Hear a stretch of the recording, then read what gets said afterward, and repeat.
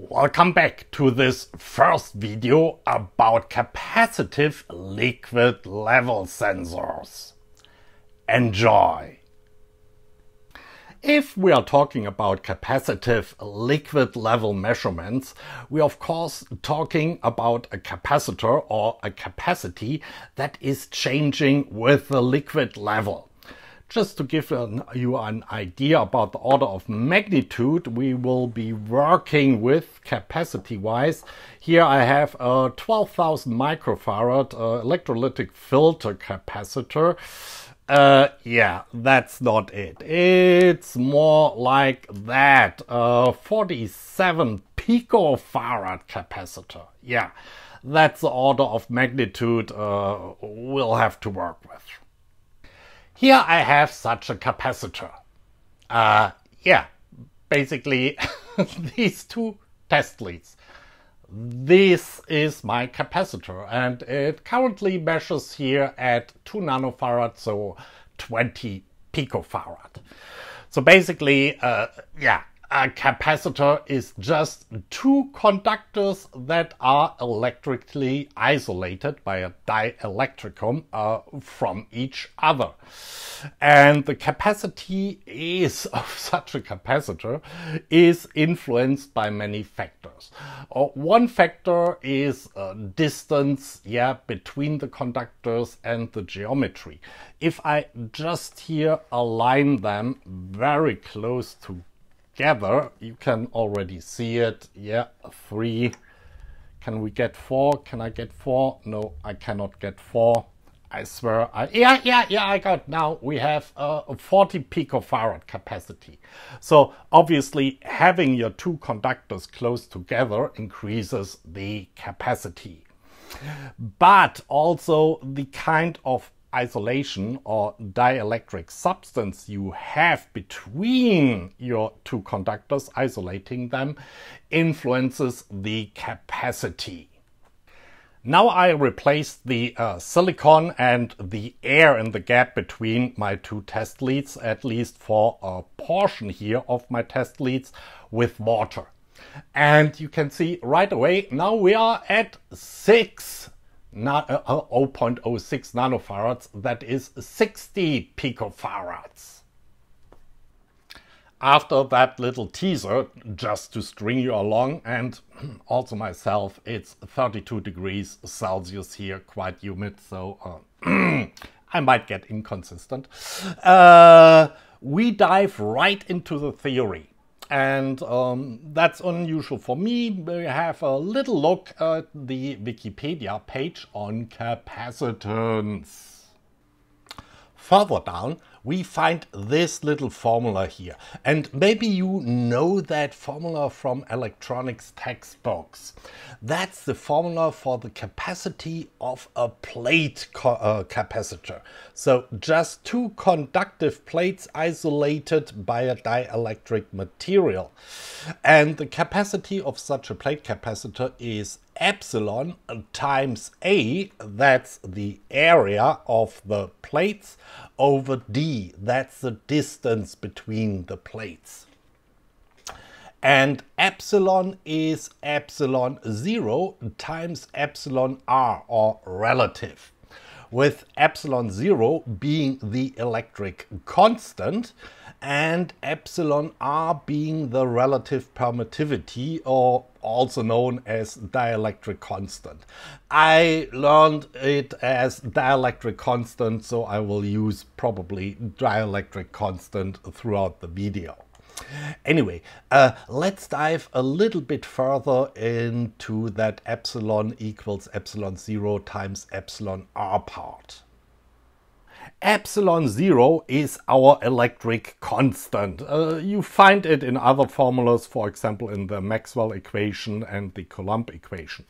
It's also known as the vacuum permittivity, okay, and its value is 8.854 and then lots more digits, 10 to the power of minus 12 farad over meters or farad per meter, sometimes written at uh, as farad times meters to the power of minus 1. epsilon r or relative is the relative permittivity or also known or as I learned it the dielectric constant of a certain material. And by definition for vacuum it's 1 and please note epsilon r doesn't have any dimension so yeah if epsilon 0 is the permittivity of vacuum, then the relative permittivity to vacuum in relation to the vacuum permittivity is of course 1. So epsilon r is just a measurement of the permittivity of a certain material relative to vacuum. And I have here some uh, values uh, for that epsilon r. So for air it's 1.000 589, so quite close to vacuum. For paper, it's uh, aboutish, yeah, depends on the paper, 1.4.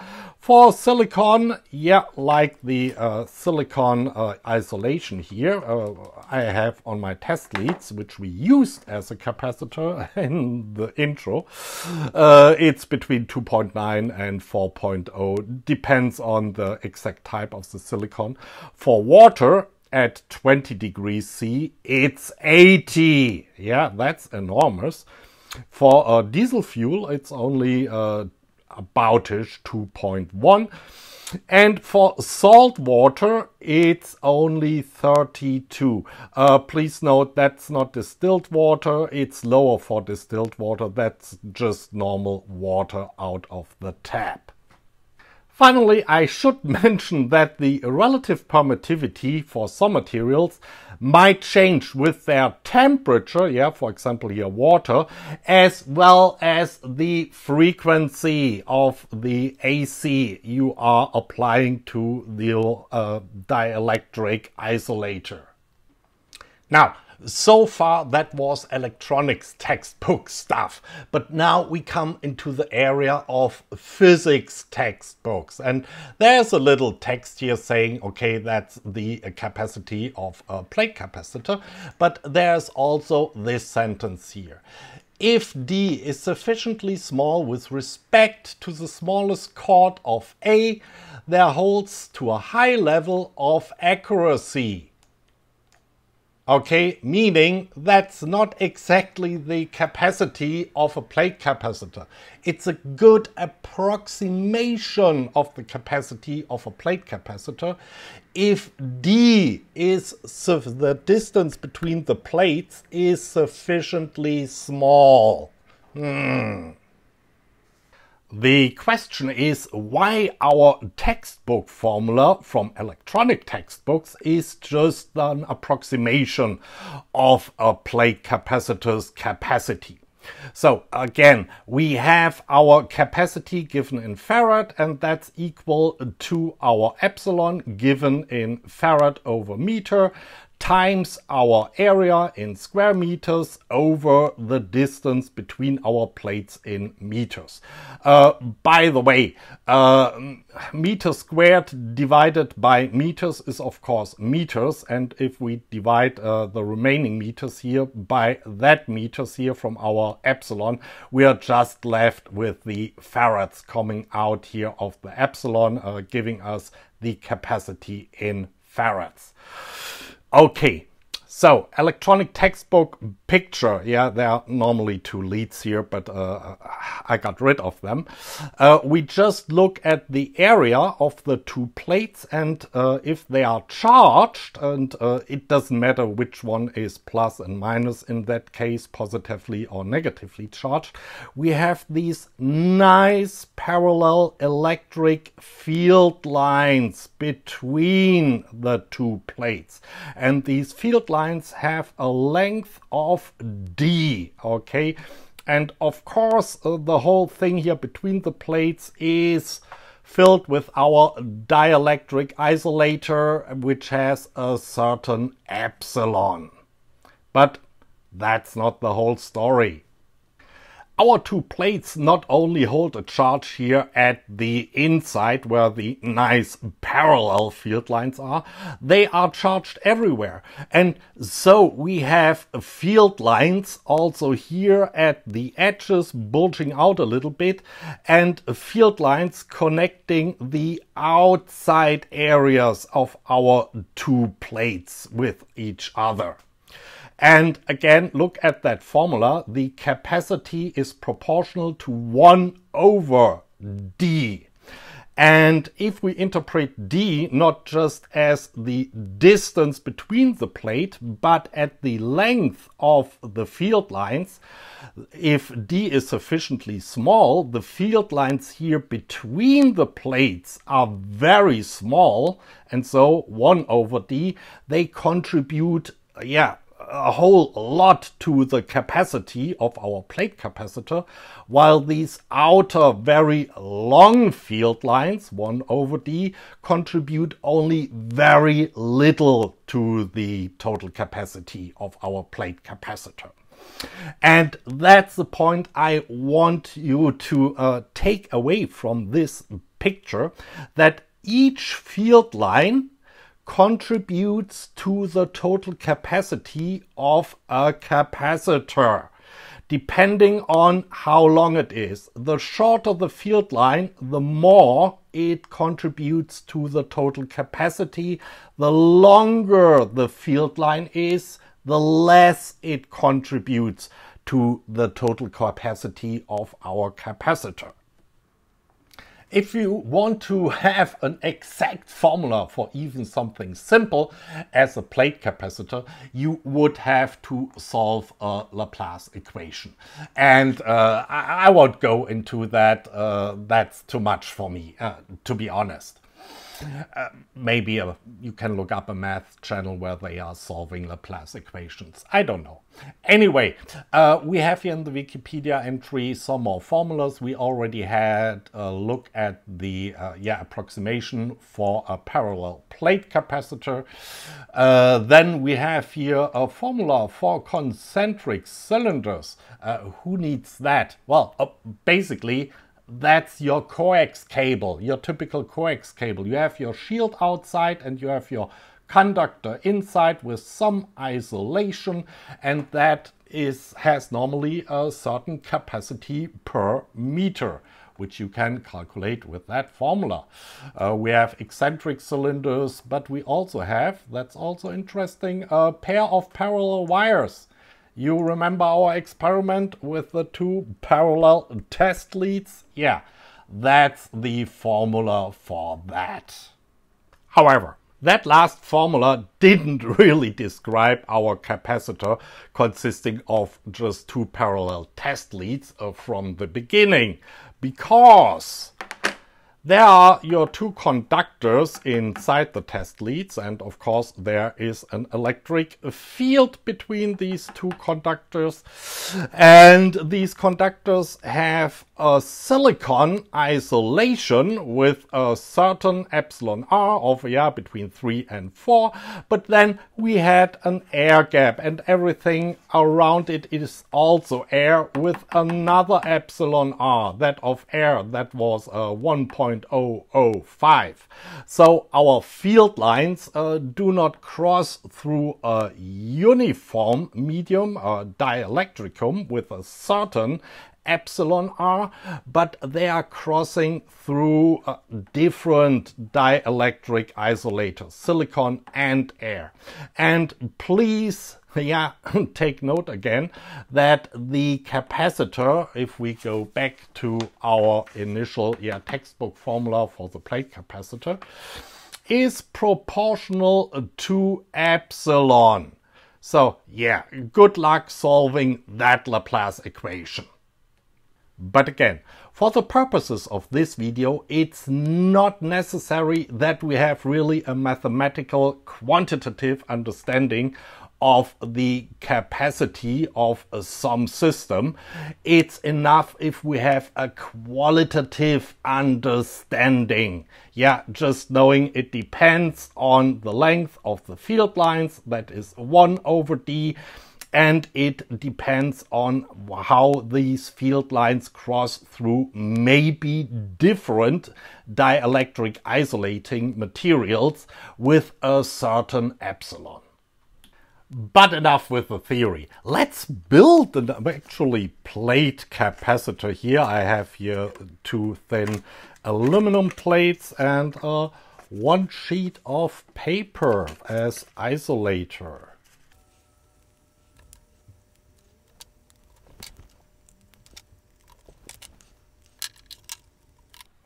Done.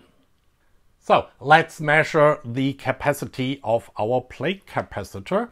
Uh, yeah, we have already uh, 20 picofarads. That's just, you know that from the intro, the capacity of my test leads. And my capacitor itself has about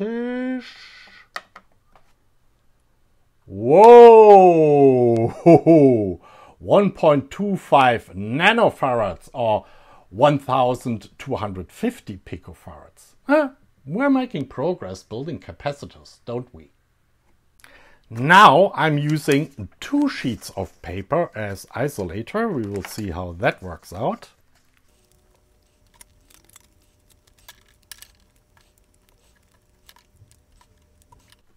Let's measure that thing.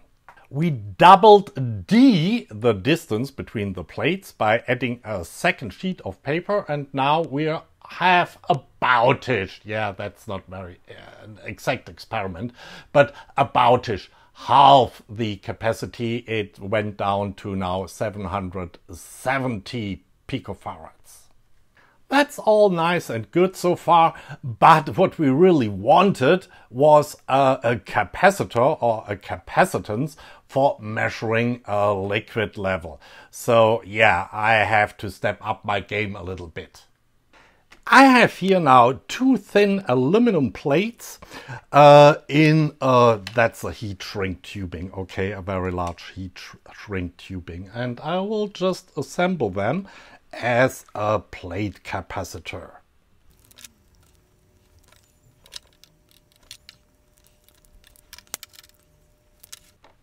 There you go. In air, my little plate capacitor here has a capacity of about 120 picofarad. And now let's fill that up to, uh, yeah, uh, this is not exact measurement, the 600 milliliter line here.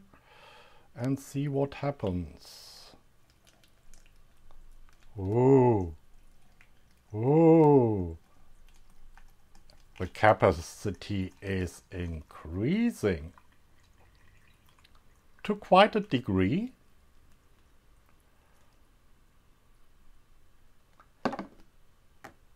So, 180 picofarads. What just happened there? We have our two plates here uh, wrapped in some heat shrink material as isolator pressed together. And I don't know exactly what kind of material that heat shrink tubing is made from but it has probably an uh, epsilon r between 2 and 9 depends on the material that is actually used and of course, as we learned, plate uh, capacitor, the majority of the capacitance is generated by the short field lines here between the plates going through our heat shrink material mostly. I mean, there might have been some air bubbles and also some little water ingress between our two plates here. However, we have these other very long field lines uh, that go all around. And uh, they are very long so they only contribute very little to the total capacity. But we also changed the e the epsilon r of our outside environment here from air, which is, yeah, approximately 1, 1.005 and then something, to water, which is 80, okay? So a factor of 80. And we saw an increase of about 50% of capacity. So we went from 120 picofarads to 180 picofarads, a plus of 60 picofarads, so 50%. But maybe we can improve on that. What if we leave a cavity open between the two plates that can also fill up with water? Let's try that. I will use two wooden blocks here, uh, one at the top and one at the bottom to create a gap. I hope that works out.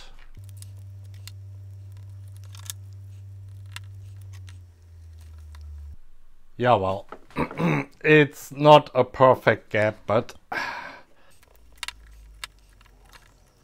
Oh yeah, it is a gap. This time in air we start with a very low capacity of just a 40 picofarad and that's mostly my test leads. So yeah, one picofarad added here if I connect to my plate capacitor actually. And now let's fill up the whole thing with water again.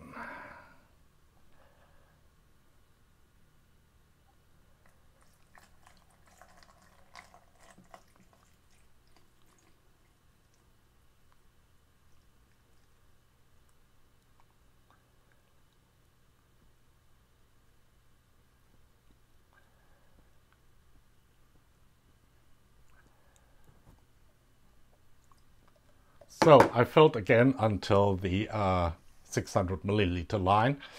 And we went from 40 picofarads up to 140 picofarads. Just to put that into context, yeah, our first uh, experiment with the plates pressed together got us from dry 120 picofarads to wet 180 picofarads. That's an increase of 50%. A nice signal, but with the gap between the plates that can fill up with water, we went from 40 picofarads dry to wet 100 picofarads. That's an increase of 250%. That's a much bigger signal. In fact, it's a five times bigger signal.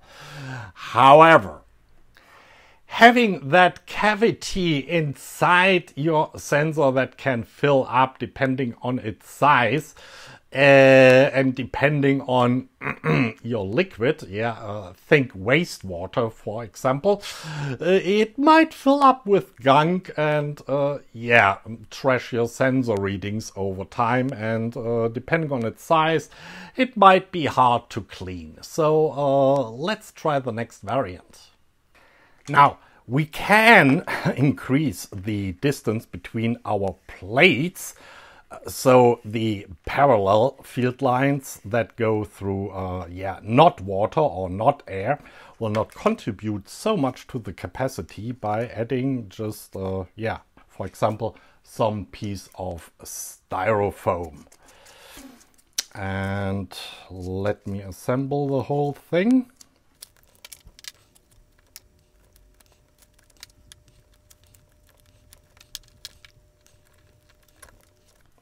Okay, not perfect, but good enough for a test.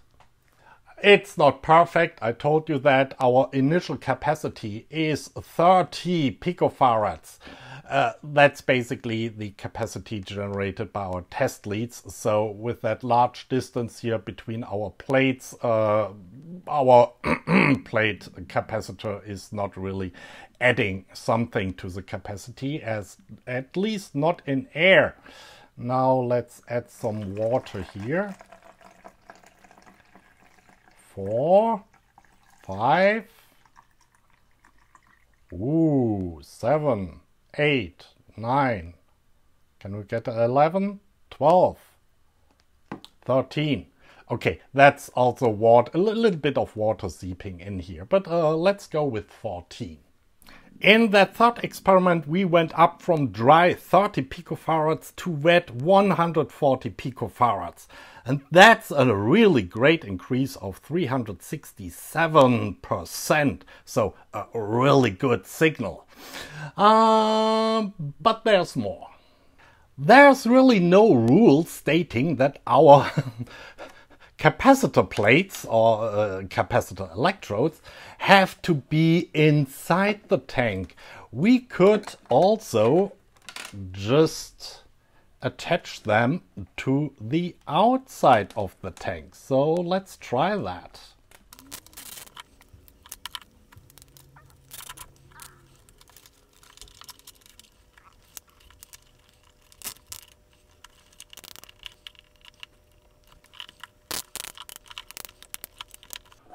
Well, not nice, but I think it will work. Our initial capacity reading is again 30 picofarad. Uh, so yeah, I mean, this is uh, the geometry here. That's a really shitty plate capacitor. It, it's formally, it's not even a plate capacitor. But anyway, let's fill some water in here and see if we can detect a change.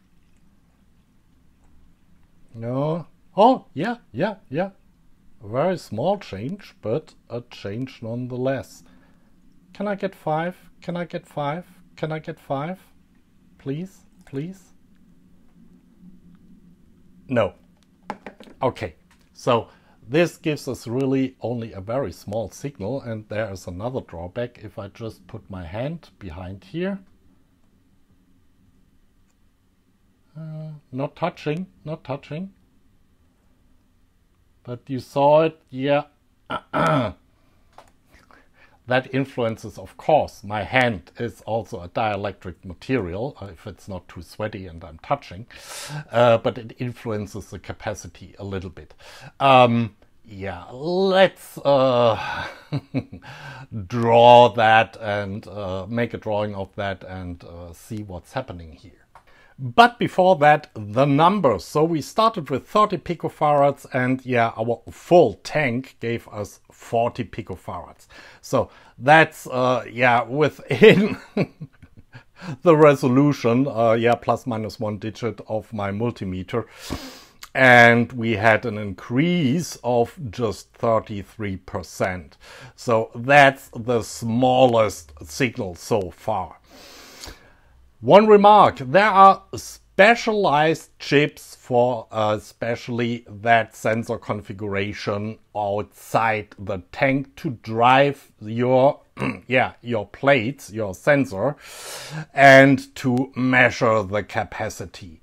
They also take into account what i showed you uh, with my hand that some outside disturbances can influence the capacity and therefore falsify your measurements Here's a very crude picture of our experiment. We have our uh, two plates here and then we have our tank made out of polypropylene that has an epsilon R of 2.1 but you see the field lines are passing only uh, for a small very small length through that uh, polypropylene so you can basically ignore the epsilon R of your container what you also see a lot of the field lines will be outside the container in air or something else. We saw I can disturb the capacity when I put my hand in here. And also some very long field lines go or reach inside the container where we have either air or water so we can change the capacity. All in all, as I mentioned, uh, this kind of sensor arrangement is a realm for specialized chips that have specialized driving mechanisms for our two capacitor plates. And one trick they also employ is to have an actively driven shield behind these two plates. But uh, yeah, that's for another video. Maybe I buy such a chip just to, you know, try it out. The shield, of course, is there to uh, avoid the field lines uh, reaching out here and uh, being able to be disturbed by something else, like a hand. So far, the tank we were using was an electrical isolator uh, or made from a dielectric material itself. But what if your tank is made out of metal? There's a solution for that too. We just stuff an yeah, uh, isolated plate or electrode in, uh, well, it's not an electrode if it's isolated, so an isolated plate into the middle of our tank. Okay, let's measure that. Our initial capacity is 50 nanofarad. Uh, that's larger, okay, than our uh, two outside plates. Uh, just make a note of that because the geometry here is actually not so bad for a capacitor. But now let's add some water. I probably won't fill it up uh, completely, but uh, we will see if that's working. Oh, and it's working nicely.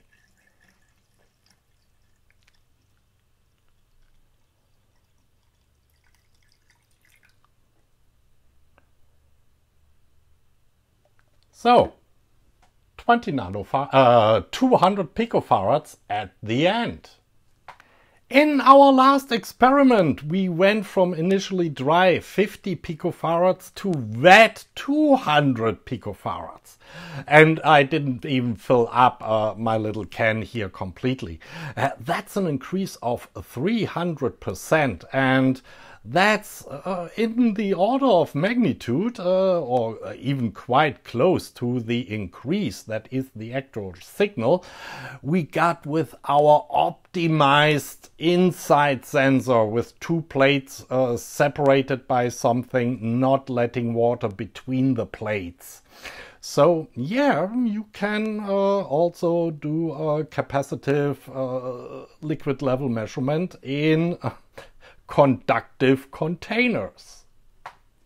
That's it for today. I hope our little theory sessions about, yeah, at least uh, uh, qualitative understanding of, uh, yeah, what makes up capacity or capacitance and our little experiments here gave you a little insight on how to design a sensor that is a capacitor for capacitive liquid level measurement. In the next video in the series, we will actually try to measure our capacity here. I mean, that's uh, in general capacity measurement, uh, not with a multimeter, but maybe with a, I don't know, microcontroller like an Arduino Nano Every. We'll see. Till then, bye.